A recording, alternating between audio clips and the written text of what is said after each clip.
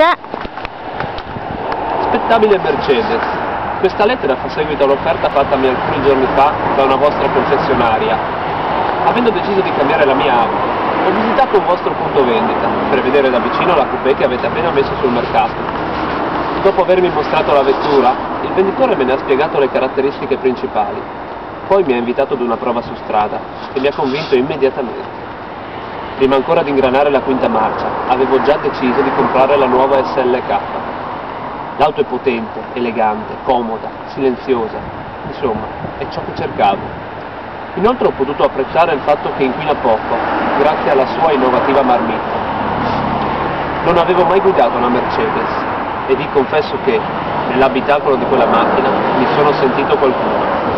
Ho capito che al semaforo, fuori dai bar, nei parcheggi, i pedoni danno sempre un'occhiata a chi sta guidando una Mercedes, specie se si tratta del modello che ho provato. Sembra che guardino attraverso il vetro e pensino chissà chi è il fortunato che guida quella SLK. Per non parlare degli altri automobilisti, che non riescono a nascondere una punta, ma forse dovrei dire tre punte, di invidia per chi guida le vostre auto.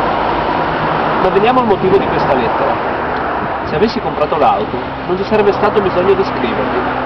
La ragione per cui ho deciso di non comprarla è ciò che è accaduto quando, terminata la prova su strada, sono tornato nei vostri uffici.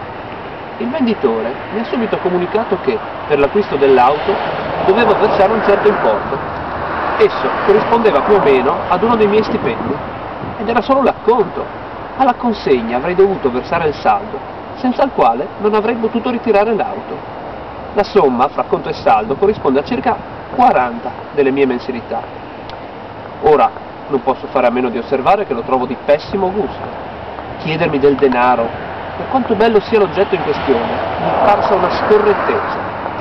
Secondo il venditore, avrei dovuto consegnarvi una somma talmente ingente, e tutto ciò per possedere, alla fin fine, un'automobile, cioè una cosa che mi porta da qui a là. Saprete anche costruire vetture, ma l'arrivare a pretendere del denaro trovo che vi svilisca profondamente.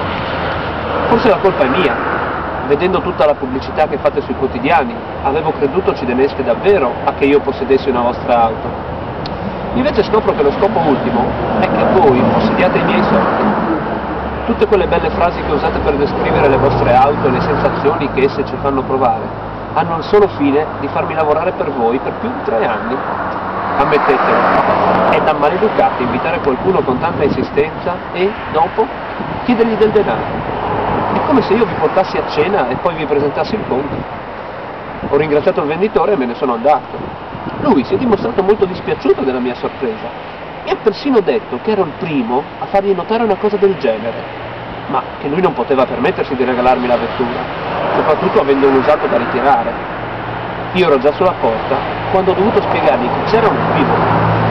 Non gli stavo affatto proponendo un regalo, era la concessionaria che doveva dare a me dei soldi. Analizziamo freddamente la cosa. Io esco di casa, arrivo fino al vostro punto vendita, faccio una prova di guida alla vostra vettura, rilascio dei commenti. Sono perfino disposto a portare in strada un'auto con il vostro marchio per anni, vi lascio anche la mia macchina e voi, per ringraziarmi, non mi date nemmeno un po' di soldi? Se non è maleducazione questa? Se non volete darmi la vostra SLK, sapete che vi dico? Guidatevela da soli, tenetevela nei vostri depositi, lasciatela coprirsi di polvere. Vi lascio con queste parole, dandovi l'opportunità di fare un profondo esame di coscienza e ricordandovi che, se doveste cambiare idea, il mio recapito ce l'avete. Sono perfino disposto a riconsiderare la possibilità di accettare la SLK, rinunciando a pretendere denaro da voi.